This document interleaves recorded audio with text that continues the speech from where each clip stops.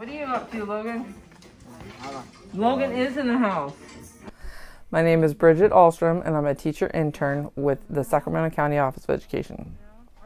I've been a para for, I think it's like 23 or 24 years, and for a while I was okay being a para, and then I wanted something more. So I looked into, um, I took a further look inside the classrooms that I was working in, and I liked what I saw.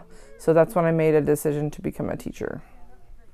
What I liked about being a paraeducator is I liked making a change in the students' lives that I worked with. I like seeing their progress.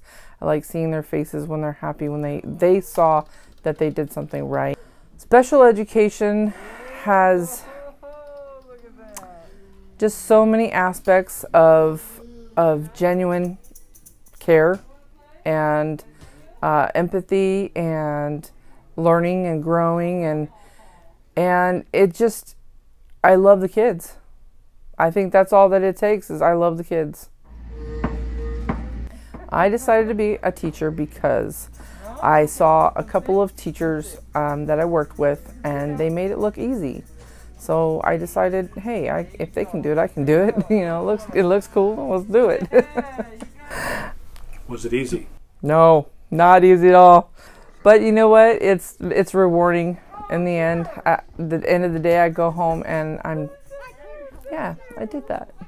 Pretty proud of myself. So, and I I think the kids like it. You know, they come come here, they're happy. They go home and they're happy, and so I've done a good job.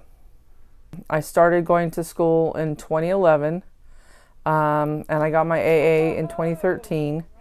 Um, then I got my my bachelor's two years ago, my master's a year ago, and I'm working on my second master's.